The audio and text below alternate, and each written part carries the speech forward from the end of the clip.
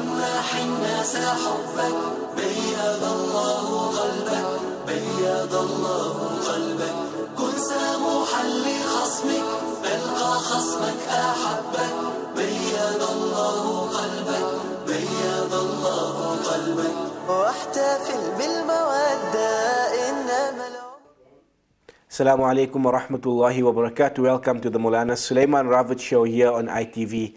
As part of our series on the final sermon of Nabi Sallallahu Alaihi Wasallam, we've covered many topics over the last few weeks.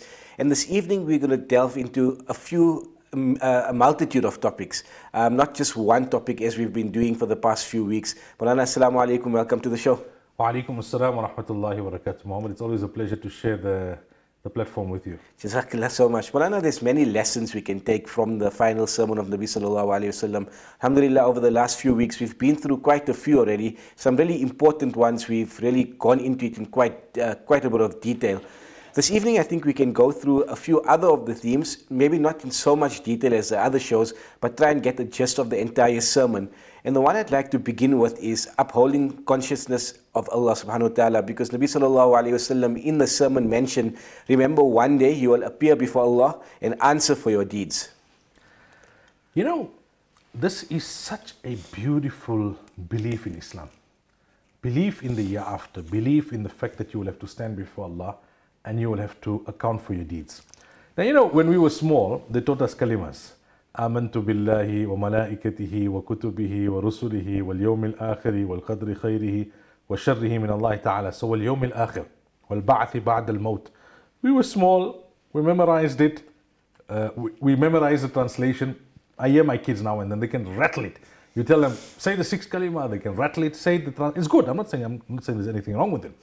And as we, we grow older, we got to understand that, look, we, we to, as Muslims, we believe there's life after death, that death does not bring your soul to an end. Right? A, a human is a combination of body and soul. That's why uh, when, when your fetus is in the womb of your mother, you're nothing until the soul is blown in. Right? And, and if the body, if the, if the baby is born without a soul, it's called a stillborn baby. It's immediately buried. And when the soul is taken out of the body, the body has no value. So primary between the two is the soul. And, and interestingly, they say if you don't nourish the soul, but you nourish the body, you create an imbalance. The body is physically thriving, but the, the soul is spiritually weak. And that imbalance is what creates a lot of this uh, mental and emotional issues that people have, psychological issues. Because internally you're not, you're not balanced. Physically you're very strong and spiritually you're very weak. But anyway, that, that's a different discussion for, for another day. The point I wanted to make here is that the soul, we believe, continues. Death is merely the separation, the taking out of the soul from the body. The soul does not cease to exist. It continues into the realm of barzakh, which is a kind of a transit lounge, if you like, and then into the everlasting life of the akhirah. So this is part of our belief. It's, it's part of the fundamental creed of a Muslim that you, you there's life after death. Now, what does life after death entail? There's two broad aspects to it. One is accountability, right? Uh, وَالْيَوْمِ الْآخِرِ The last day, the day of Qiyamah. Uh, Maliki Yawm Din, the day of, of, of judgment, right? And then after that, it's either eternal success or, or eternal failure or punishment and then, and then reward. So why this constant reminder that you are going to have to stand before Allah? You see, because human beings are such. If you don't look at look at an atheist or, or an agnostic, they have nothing really that, that, that there's, that's an internal mechanism that keeps them in check. Firstly, you determine your own values. You determine for yourself what's right and what's wrong, what's good and bad. And then they'll say, you know what, wrong is what is wrong in the eyes of the beholder. You may feel something's wrong, I don't feel something's wrong. You know what, I can steal, you may feel it's wrong, I'll feel, you know what, it's not wrong because I'm stealing from a rich person. Or society is corrupt, life is not fair. So, you know, so that's the one problem. You start determining right and wrong for yourself because you feel you're only accountable to yourself. And secondly, the only thing that can hold you into check is the law. But the, the arm of the law is not as long as we think it is. Right? If there's if there's 10,000 people speeding on, on, on the road in a day, how many get caught? If there are 10,000 people that steal every day, how many get caught? Even in the societies or in the countries where the police force is not as, uh, let's say, as weak as it is here in South Africa. Because you are being monitored by humans. The law is there, but the law will only regulate you if you get caught. So a person who doesn't believe in the year after, his only objective is I must not get caught. As long as I don't get caught, as long as I can get away with it, I'm, I'm, I'm, I secure the benefit of whatever I want to do. So if I want to cheat on my wife, as long as my wife doesn't know, it's good, right? As long as nobody catches me. If I'm cheating a customer, as long as the customer doesn't know. If I'm breaking the law, as long as I'm not found out, I don't have to face the, the music. Or if I can bribe myself out of it, then why not? Why not? So there's no internal mechanism that keeps you in check. As long as the policeman is not there, as long as the law is not uh, you know, directly aware of what you're doing, you do whatever you want. And that's why Nabi Sallallahu Alaihi Wasallam said when you lose that internal mechanism, you can refer to it otherwise as haya also, yeah. that you're not feeling shy that there's someone greater watching you, then that you'll end up doing whatever you want to do. And that's why we see the kind of chaos that we see in the world. There's no sense of accountability. As long as I, I'll get away with it in terms of the electorate, they won't know. They'll vote me again into office, no problem, I'll do it. As long as my wife won't know, I'll do it. As long as society won't know, I'll do it. Now, a Muslim who believes in this consciousness that I will have to stand before Allah, that you can be in the darkest of the night. Your wife might not know, society might not know, the community might not know, but deep down you know that Allah knows. And if it doesn't stop you from not doing it, at least it will prompt you to repent. At least you'll have some guilt. At least you'll feel bad about it. And that's what keeps a human in check. That's what keeps a human in check. Secondly, this, this world is a very unfair place. I mean, justice is not always served. I think in more instances than not, justice is not served. Right? So I did you down. You took me to court. I can afford a fancy lawyer. I got off on some technicality. Where's justice for you? Hmm. You can become totally despondent and depressed. You can become demoralized. You can lose your will to live because you can feel that I've been dealt a very cruel blow. I'm the victim here and I'm the one who loses everything. But when you believe in the after, you know that when we stand in front of Allah, there will be ultimate justice. When we stand in front of Allah, then the records, you know, there's no docket that will go missing in the in, in the akhirah. Like it, like it is mentioned in Surah Kahf, it will be said, Mali hadal kitab. What a book! لا يغادر صغيرة ولا كبيرة إلا أحصاها. Whether it's a major action or a minor action, major statement or a minor action, a minor statement, everything is there. ووجدوا ما عملوا حاضرة. Everything will be present. It's like nowadays, you know, one flash drive. It's not difficult for us to understand. One small flash drive like this, and the person's his, his books for his whole life are there. Right? All his financial statements are there. The whole book, Hisab Kitab is there, as they would say. وَلَا يَظْلِمُ رَبُّكَ أَحَدًا And Allah says, nobody will be oppressed. You know, justice will prevail. Justice will prevail. So when you believe in, in this in this concept of, of وَالْيَوْمِ الْآخِرِ, the, the akhirah, uh, Malik Yawmiddin, that Allah is the, the owner of the day of judgment, Allah will be the preside. No one can bribe Allah, no one can crook Allah, no, no, no one can fool Allah. And, and, and, and Allah's justice is ultimate. Allah's justice is precise. So it gives you a lot of hope. It gives you a lot of hope that at least I'll get my, my restitution there. Uh, but at the same time, it creates a lot of fear in you that I have to stand before Allah on the day of Qiyamah and account for my deeds. Like Allah says in, in Surah Rahman, وَلِمَنْ خَافَ مَقَامَ رَبِّهِ جَنَّتان That that person who fears that one day he will have to stand before Allah, for him is double the reward. Now, sometimes the devil beguiles us into thinking that, okay, okay, you will stand before Allah on the day of Qiyamah, but Allah is very merciful. Allah will forgive you. There will be the intercession of Nabi Sallallahu Alaihi Wasallam. There will be this, there will be that. We have no guarantee that Allah will forgive us, but even if Allah forgives us, this verse of Surah Rahman is telling us that, listen, don't you feel shy to stand before Allah knowing what Allah has done for you and then knowing the wrongs that you have done against Allah? Hmm. It's like that kid who comes home and he failed. His father has done so much to put him through school that that embarrassment of having to show his report card to his father, even though he knows that ultimately his father will forgive him. Right? Where will the father? What will the father do? He'll he'll scream and shout and huff and puff, and ultimately, I mean, you're still his son, right? He's got to. He can't. He can't throw you out. He'll threaten, but he won't throw you out. So you know that my father will forgive me. You know that my father will love me irrespective. You know your father won't follow through on the threats. You know, I'll take your cell phone away and I'll take your car away and I'll do this. He'll be angry, but he'll get over it. But the embarrassment of having failed him, that is worse than the failure in, eh, itself. So that is what Allah is talking to us about that listen, have such consciousness of Allah that you fear to disappoint Allah, that you fear to make Allah angry because of your love for Allah and Allah's love for you. And if you can develop that consciousness for you is a double reward. And that is what taqwa is all about. Sometimes we just simply translate taqwa as fear. It's, it's, not, it's not a wrong translation, but it's an incomplete translation. Consciousness of Allah. But in order to, to have consciousness, you need to constantly remind yourself, and that's why so many verses of the Quran remind us, Ittaqullah, Ittaqullah, Ittaqullah, wa huwa ma'akum aynama kuntum. Allah is with you wherever you are. That, uh, you know, worship Allah, كأنك تراه as if you can see him. But if you can't bring yourself to that level that you worship Allah as if you can see him فإن لم تكن تراه فإنه يراك then no Allah is watching you. That's why Luqman alayhi said to his son if you want to sin then sin but sin in a place where Allah can't see you. Right? Meaning that there's no place where Allah can't see you. And Allah is aware of everything and that consciousness is what guides a Muslim. In the end of the day sometimes people are shocked that hey I left my wallet somewhere and you brought it back in today's time and age and you say well Allah knows that I found it and I knew it wasn't mine, it was yours. And sometimes people come and say, you know, I have this amanat of yours, this possession of yours, this is yours. Um, I, I, I, I met a brother in Canada recently, and he, he had the Bal Mubarak. Yeah. He brought us the, the, the pouch with, with one strand of the blessed hair of Rasulullah. sallallahu alaihi wasallam.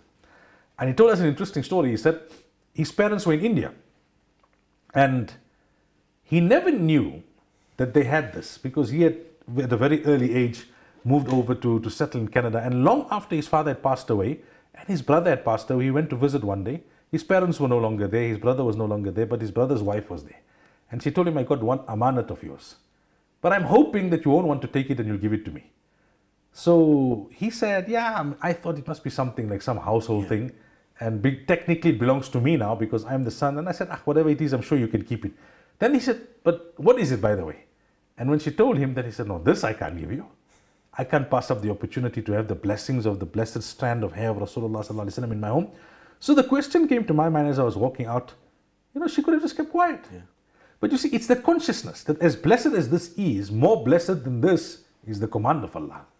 Because this blessing will turn into a burden for me if it belongs to someone else and I keep it. Now, no one would have known. He didn't even know it was there. But Allah knows. And that's the beauty of consciousness of Allah. Brother, a few minutes ago you mentioned that no matter how much consciousness we have of, of Allah in our hearts, shaitan will always be there making, trying to lead us astray. And during the sermon, Nabi Sallallahu Alaihi Wasallam said, Take note of shaitan's presence and plot to corrupt your heart and your soul. Beware of shaitan for the safety of your religion. He has lost all hope that he will ever be able to lead you astray in big things, so beware of following him in the small things.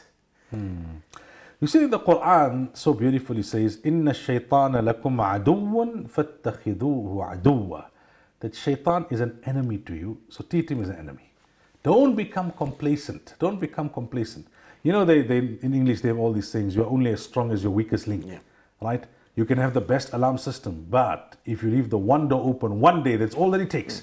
So when it comes to our physical properties, we are always on the guard for our material possessions. Close the door, lock the door, put the alarm on, have immobilizer, have this, have that. We're conscious. We're always, um, you know, on our nerves, so to speak. At night, you'll walk around, you'll check. Every window must be closed. The front gate is closed. The front door is closed. The trolley door is closed. Everything is locked. All the beams are working, and the alarm is on. Why? Because you value your, your house. You value your car that's parked in the garage. You value your life. But you need to value your faith the most. You need to value your iman the most. So Allah is saying, who's the man on the prowl? We know at night there are criminals on prowl uh, wanting to get our cars and wanting to get our jewelry and wanting to get our cash and wanting to get into our homes. And we take all of these security measures. We take them seriously. We know that they are serious in wanting to do what they want to do. So we take them seriously. So Allah says the same thing. That listen, when it comes to Iblis, take him seriously. He's not playing around. He's not playing games. Iblis was in the in, in, in, in the heavens and, and, and he refused to prostrate before Adam wasalam out of his pride and arrogance. Then he put up an argument and a khairum min. Then he started blaming Allah billah, that oh Allah, you misguided me. And then he asked Allah, he asked Allah and he said, that grant me respite up to the day of Qiyamah so that I can misguide them. ثُمَّ لَآتِيَنَّهُم مِّن بَيْنِ أَيْدِيهِمْ وَمِنْ خَلْفِهِمْ وَعَنْ أَيْمَانِهِمْ وَعَنْ شَمَائِلِهِمْ And Allah said that, okay, that uh, you will be granted that, uh, that, that, that uh, respite. So he has made it his life's mission. He hasn't left the best of the best. He hasn't left the best of the best, and he will try. The, the more spiritual you are, the stronger you are as a Muslim, the stronger his attempts. Look, the more gold you have, the more money you have, the more wealth you have, the more fancy your car, the more expensive your car, the more the attempts they're going to make on Yeah. you. Right? Because there's, there's, there's greater, there's a greater prize at stake. And the more, because the more sophisticated your alarm system is, the more fancy they're going to try, the criminals, in, in, in, in an attempt to get in. So Allah is saying the devil wants to steal your faith. He wants to steal your iman. If he can't steal it, he wants to compromise it. So treat him seriously. Inna shaytana lakum aduwan fattakhidhuhu aduwa. Then Allah talks to us about a particular style or a particular strategy of the devil. Allah says, Ya ayyuha alladhina amanu, that O you who believe, La tattabi'u khutuwati shaytan. Don't follow in the footsteps of the devil. Now the scholars have asked the question that Allah could have said that don't follow the devil why Allah says don't follow in the footsteps of the devil and this year is a very remarkable thing Allah is talking to us about the strategy of the devil you see Nabi Sallallahu Alaihi Wasallam told us that in the main shaitan knows it's very difficult to turn a non-Muslim away from Islam in the main you get those that that uh, ideologically are weak, etc., and, and, and he can he can prey on them. But in the main, if he comes to a Muslim and whispers into him, into his heart that, hey, you know what, go and worship an idol, he's not going to do it, even if he's the weakest of Muslims. Right? Go and worship the sun. Go and say, yes, I believe that Isa is the son of God, alayhi salam. But what he will do is he will he will gradually try and mislead you. That's why Allah talks about footsteps. If someone has traversed a particular path, you can't see the person. Yeah. You can't see where they have ended up, where they have landed. But if you continue to follow their footsteps, one step at a time, one step at a time, one step at a time, eventually you will go where they went. Yeah. And if somebody chokes a path for you with their footsteps, then you'll end up where they want you to end up. And that is how the devil misleads believers. That's why Allah said, Ya ayyuhal ladhina amanu, that oh you who believe, la tattabi'u khutuwati shaitan. He'll start with small, small things. Right? So he, he, may, he, may, you know, he may come to you and say, hey, that's a beautiful woman. Maybe you should cheat on her. And you'll say, no, no, no, no, yeah, zina is a very horrible thing in Islam. So then he'll say, just chat with her.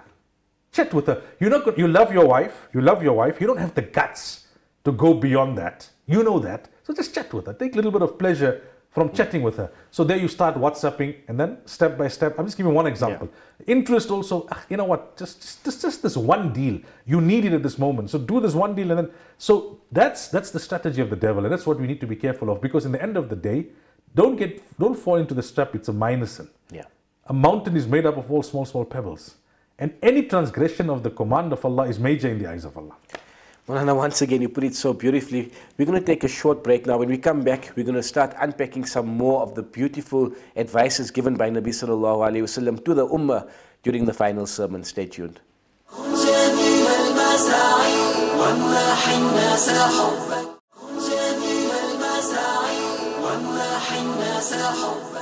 Assalamu alaikum and welcome back to the Maulana Sulaiman Ravat show here on ITV. For the last few weeks, we've been discussing the final sermon of Nabi Sallallahu Alaihi Wasallam, and this evening we're unpacking a few of the very important uh, bits of advice that Nabi Sallallahu Alaihi Wasallam gave to the Ummah on that eventful day on the plains of Arafah. Um, something that's really important that we all know about, uh, we've learnt about it from, from the time we were kids, the five pillars of Islam. Nabi Sallallahu Alaihi Wasallam during the sermon mentioned, Oh people, listen to me in earnest, worship Allah, say your five daily prayers, fast during the month of Ramadan, give your zakah, and perform Hajj if you can afford to. You know, I, I have been saying something for quite some time that the solution to the problems of the Ummah is coming back to the basics. There, there are numerous hadith of Rasulullah sallallahu wasallam wherein the Nabi of Allah was asked by Sahaba that you know, man, you know what is the what is the way to success, what is the way to salvation, and Nabi sallallahu alaihi wasallam would say similar things, uh, you know, redirecting them towards the fundamentals. Now, all Muslims tick the first box in terms of belief in Allah and, and the correct belief. But belief is one thing and strength of belief is another thing. Having Iman is one thing and the strength of your Iman is, is another thing altogether. And uh, we need to be constantly working on improving our Iman. How many of us actually do it? It's your, it's your, it's your greatest asset, right? And uh, the thing is that if it's your greatest asset, then why is it that you are not preserving it? Why is it that you're not looking to, to, to nourish it? Why is it you're not looking to grow it, to enhance it? Imam Bukhari rahmatullah alayhi used to say, Al imanu yazidu wa yanqus. That iman increases and decreases depending on your uh, on your actions, depending on what you do in life and what you don't do. So, based on that, we need to understand that uh, we need to be constantly taking stock as Muslims. What is the state of my iman? Sahaba used to come to Nabi Sallallahu Alaihi Wasallam and say, Ya Rasulullah, I feel there's been a decrease in my iman. Y- You know, why did, uh, why did Yaqub alayhi salam cry so much for his son Yusuf alayhi salam and that he lost his eyesight, even though we know that he knew that Yusuf alayhi salam was still alive. And that he knew because of the dream that eventually it will all work out for Yusuf alayhi salam. So, of course, he was pained by the separation that his son was not there and he was worried, where's my son, how's my son? But he knew his son was alive and he knew his son would, uh, would, would eventually uh, be, be, be a success story because that is what the interpretation of the dream was. And the scholars give a remarkable answer. They say that um, he was worried whether the condition and the strength of the iman of Yusuf alayhi salam was appropriate for then of, of a son of a Nabi. So I know my son is somewhere, I know he's alive, I know he's healthy, I know he's a Muslim, but is he a strong enough Muslim? That is what he was weeping about. Uh, and how, how many of us actually think about that in terms of what is the strength of the, of the faith of my children? We look at a report card. Hey, how good is your maths? Maths is not good now, you have to go for remedial uh, tuition. Uh, what is the strength of your iman, my son? And you, it's not only about asking the question, it's about seeing it via the actions of your son or your daughter, your, yourself, your spouse. How often do spouses talk to each other about matters pertaining to faith? So, you know, it's something we take for granted. It's our greatest asset, Iman, but it's something that uh, we, we, we take for, for absolute granted, uh, or granted in absolute sense. And, and, and uh, so you need, to, you need to constantly work at improving your Iman. And how do you do that? By talking more about Allah, by reminding yourself about what life is about, by reading Quran, by giving your soul the spiritual nourishment that keeps the flames and the fires of, of, of Iman burning. So that's the first thing from the five pillars of Islam. Then the second thing, and I mean, this is where we fall short the most, is Salah. You know, Umar radiallahu anhu, he once wrote a letter to all his governors. This was a state letter. And he didn't talk about policy, he didn't talk about, uh, you know, military, nothing. He said, Inna ahamma amrikum indi as-salah. In my opinion, the most important thing is your salah. فَمَنْ حَفِظَهَا وَحَفَظَ عَلَيْهَا فَقَدْ حَفِظَ دِينَ If you protect your salah, you have protected your deen. وَمَنْ ضَيَّعَهَا فَهُوَ لِمَا سِوَاهَا أَضْيَعَ But if your salah is compromised, then your entire deen is vulnerable. As-salatu imaduddin. That's why it is said that salah is the foundation of deen. Now today you see people working very hard, sometimes for their businesses, sometimes for their careers, sometimes for good causes, and they neglect salah. They either miss salah or they rush in their performance of salah or they are negligent when it comes to salah.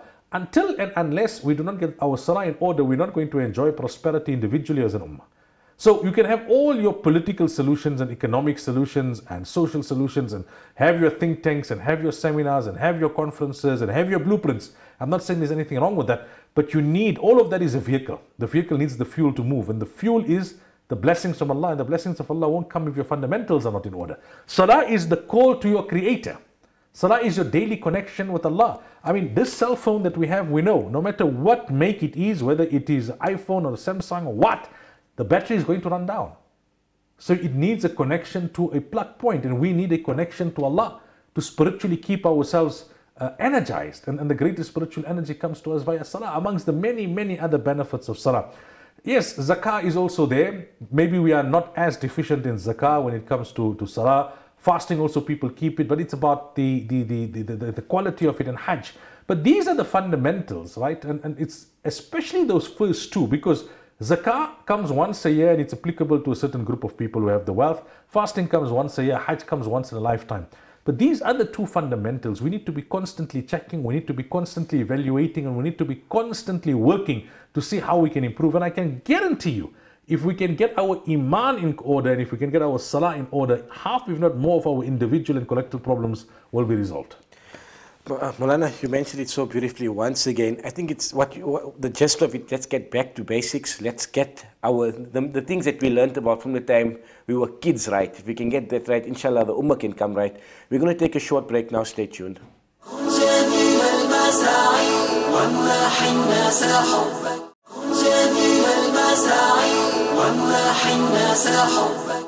Assalamu alaikum and welcome back to the Mulana Sulaiman Ravat show here on ITV. For the last few weeks, we've been discussing the final sermon of Nabi Sallallahu Alaihi Wasallam, and this evening we're concluding with the lessons from that sermon. So many lessons were given to us, and I don't think we'd ever be able to do justice to the full sermon. May, may Allah give us the strength to do it. Maybe at another time we can go through maybe more of the themes. But this evening we're just going through a few themes. We've discussed uh, Allah consciousness, taqwa, um, prioritizing the five pillars of Islam, taking note of shaitan's presence and the plot to corrupt, corrupt our hearts and our souls. In this segment, we're going to conclude with the importance of dawah, um, using the Quran and the Sunnah as a reference point in our life, and finally to be just, trustworthy, and the harms of interest that Nabi Sallallahu Alaihi Wasallam so beautifully warned us about. Mulana, in the sermon, Nabi Sallallahu Alaihi Wasallam mentioned all those who listen to me shall pass on my words to others and those to others again. That really gives us the importance of dawah and taking Islam to, to everybody. You know, we spoke about this in the other program where we were talking about uh, the finality of prophethood, also linked to the final sermon, that there is no Nabi to come after Rasulullah. And that's why da'wah is a responsibility of every ummati, not only uh, the, the, uh, the ulama or the knowledgeable or those who, who go out in the path of Allah wa ta'ala specifically. And, and da'wah can take many forms. You know, da'wah is to Muslims, da'wah is to non Muslims in a broad sense in, in, to Muslims in, in the form of a reminder that this is right, this is wrong. And you know, we see the, the brothers standing up in the masjid all the time. And you know, I always I always marvel that uh, that message is so basic, right? You kind of like off by heart. Respected brothers and elders, my success and your success. But when it's such an apt reminder, it's something over which we need reminder all the time, all the time. And then to non-Muslims as well. One is, you know, like Ahmad Deedat kind of thing where you go and you show them you know, you compare and you show them why the Quran is the word of Allah and why there has been distortion in the Bible or why there has been distortion uh, in the in the Torah, etc., and the inconsistencies and that kind of thing. The other is you go and you explain uh, Islam to people, and and this is something where you know the South African Muslim community is renowned the world over for many strengths. Uh, uh that you know we haven't been in this country all that long compared to to to to, to other countries, but uh, our religious infrastructure is is comparatively strong our masjids, our maktabs, our Muslim schools, even our ulama bodies, our, our, our, our Muslim media sector. But the one area where we've been very weak is dawah. You have some people who have a passion for it. I know one mufti from Newcastle, he carries a Quran in his pocket wherever he meets whoever. He'll strike up a conversation in a very diplomatic way and he'll tell them what Islam and many people, people you wouldn't have expected. I think he came to the one ijtima and he spoke to one of the guards and he got them to, to revert to the deen. So, you know, where there's a will, there's a way. Um, the late Maulana Yunus Patel, rahmatullahi, it is, it is mentioned about him that every domestic that worked in his house accepted Islam. Now, how many domestics we have heard? We can talk about the number of domestics that we have fired. How many uh, people have worked in our homes, uh, have worked in our businesses, non Muslims? Have we brought them closer to Islam? What impression, uh, what image of Islam did we grant to them? uh, what did we reflect in terms of our conduct, in terms of our character as to what Islam is? Because in the end of the day, when Aisha radiallahu anha was asked about the character of Rasulullah she said, "Kana khuluquhu al-Quran." The Quran was exemplified in the conduct of Rasulullah in the actions of Rasulullah. You could see the Quran in how the Nabi of Allah spoke, in how the Nabi of Allah acted, in how the Nabi of Allah reacted, in what he did, in how he did, in when he did. So we, we need to understand that, that that da'wah is when you yourself become a flag bearer of Islam. Yeah. And, the, and then obviously it's, it's a little bit more than that. Conduct and all of that softens people, brings them closer. But then you need to also know your deen. You also need to, and it's not all that difficult. There are a number of people I know who just had a bit of passion. they did a bit of reading. And they went out there and alhamdulillah, people, and, and, and the hadith says if Allah guides one person because of you, it's better than red camels. And red camels in those days were like the red Ferraris of, of, of this day that it's better for you than all of these luxuries and fineries of the world. Because whatever that person does afterwards, you will get the equivalent reward in terms of the good, and it will continue in that person's progeny, right? Because when they accept Islam, then they try and make their spouse accept Islam, they try and make their parents accept Islam, they try and make their siblings accept Islam, and many times they succeed. Or even if they don't, then their children that come afterwards will be born into uh, into into Muslim homes. And there are many businessmen. Like I mean, I know one businessman, a very prominent businessman, that he does his business, but he's always talking to his non Muslim business partners or his non Muslim associates, or even the, the plumber that will come out to his house, he talks to them about Islam. What, what stops us? There are so many people who have accepted Islam on the hands of an ordinary Muslim. And I say ordinary, I mean not a scholar, not a person formally trained in doing da'wah. I'm not saying you, you know you shouldn't be formally trained. If you are formally trained, you can do a better job of it. But if your passion is the most important thing.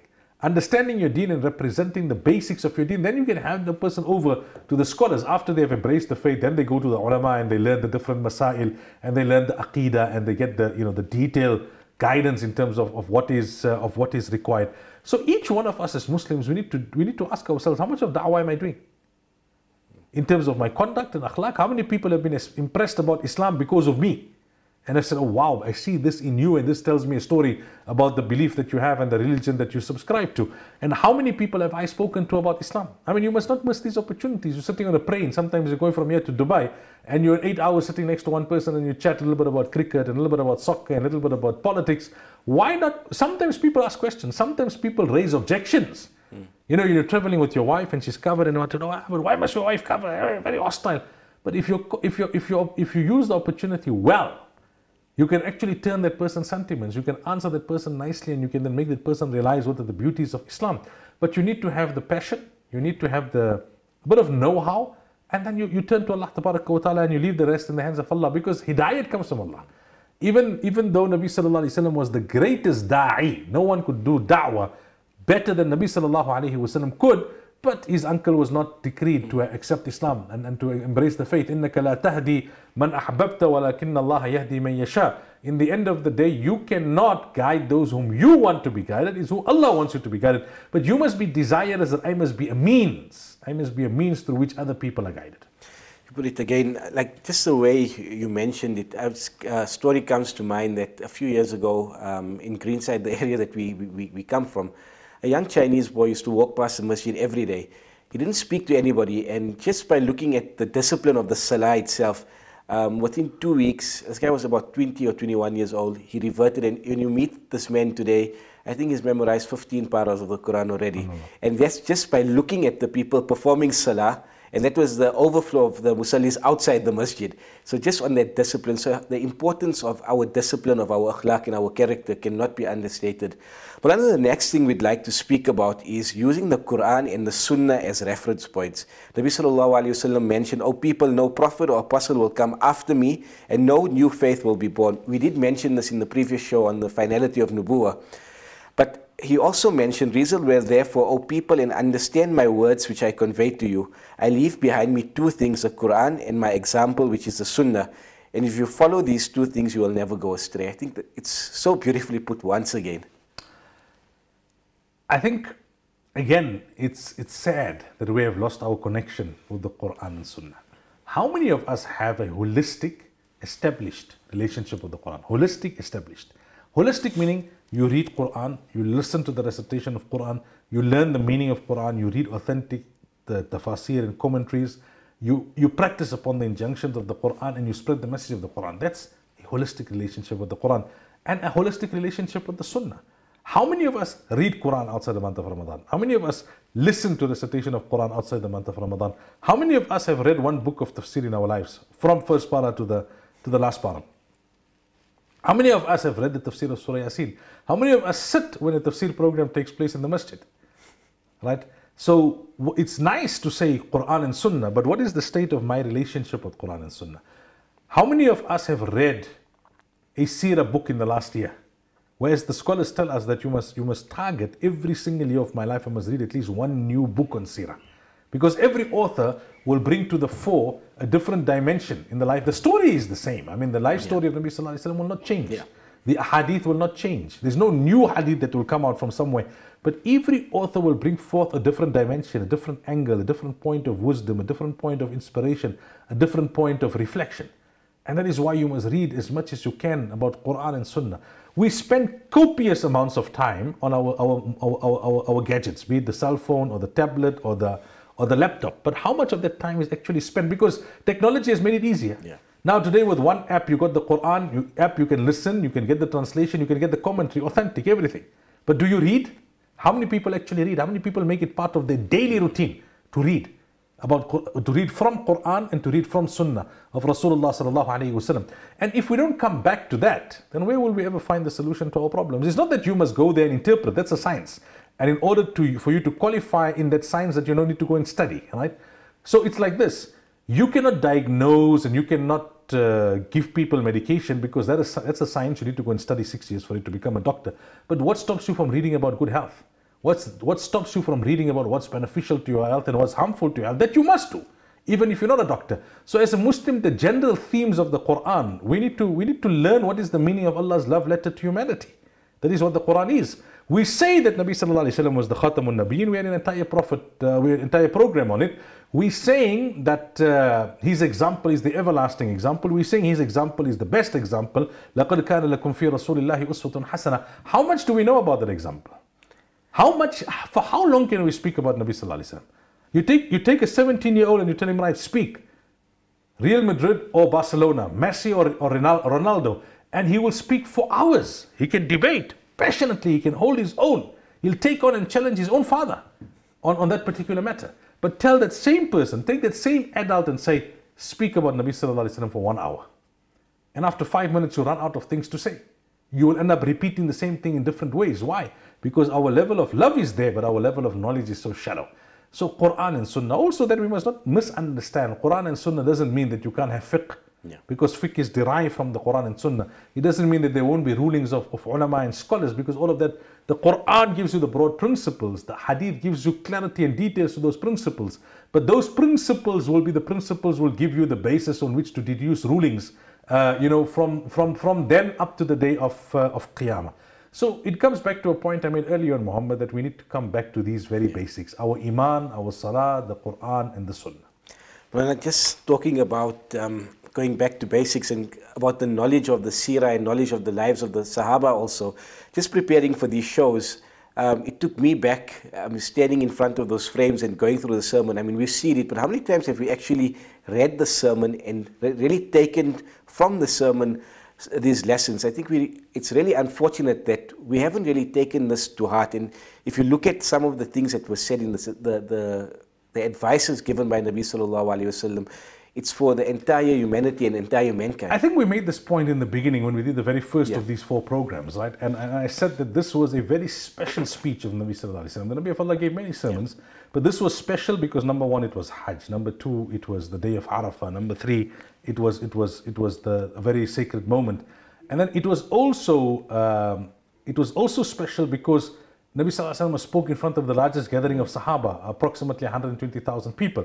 It also became the final sermon because not long after that, Nabi Sallallahu Alaihi Wasallam passed away. There may have been smaller sermons thereafter, but this was the large, big, uh, the biggest address, you know, and, and the last, you know, major sermon, if, if you like. So people talk about, you know, Martin Luther King's uh, I Have a Dream speech and this one's that speech and Mbeki's I Am an African speech, etc.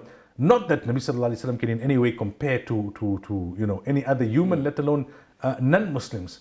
But from, from the many speeches of Nabi Sallallahu Alaihi Wasallam, this was, this was the speech. And Nabi Sallallahu Alaihi Wasallam knew, he already knew because once, once Ida Ja'a Nasrullah was, was revealed that his time on earth was limited. And, and he, he had a strong sense that that would be his last meeting which, with such a large gathering of Sahaba. And in that sermon, Nabi Sallallahu Alaihi Wasallam specifically said, whoever hears this from me, take it to others. Yeah. So there was a consciousness, this is my final address now to this larger gathering of Sahaba. So it's like, you know, when your father is on his deathbed, what he tells you then is very different to what he was telling you the previous 30 years because he knows now. This is my final moment, my final opportunity to say. So, what I say here is going to be life changing. What I say here is going to be critical. What I say here is going to be fundamental. And here, it's, it's, it's, it's, it's a tragedy that we have adorned our walls, but we have not adorned our hearts and we have not adorned our actions with the pearls of wisdom and the jewels of, of inspiration that are in this uh, final sermon. So, I think to wrap, I'll say this: we, we've done four programs. In the first one, we spoke about racism, which was which, which is which is mentioned in the sermon. In the second one, we spoke about women's rights. In the third one, we spoke about the finality of prophethood. And in this last program, we've been touching on miscellaneous aspects in the in, in, in the final sermon. We, we cannot do justice to it, even in, in these four programs. But it's it's hoped that this these discussions will be of benefit firstly to us and to all the viewers. And also, it is hoped that it would be an inspiration for them then to take the initiative to learn, to read this sermon and to learn more about this sermon and to go further into its details and, and, and benefit from it, inshallah. Man, a few months ago, I think we did a program together and we spoke about the importance of leading and the reading and the importance of knowledge. I think sometimes as an ummah, we've taken the easy way out. You rather sit on your phone, sit on social media. I think that the appreciation for books needs to come back into Oh, for lives. sure, for sure. You need to, and the only way you'll get it right if is you take out dedicated time and you make it part of your routine to read. If you buy those books and you choose them and you leave them at the place where you can see them and it will remind you, and it's part of your daily routine to read. Moulana, Jazakallah so much to our viewers out there. We hope you enjoyed these last four shows that we've done together. May Allah Ta'ala make it a means of our guidance for myself, for everybody else watching. From all of us in the team, have a wonderful evening. Assalamu alaikum wa rahmatullahi wa barakatuh.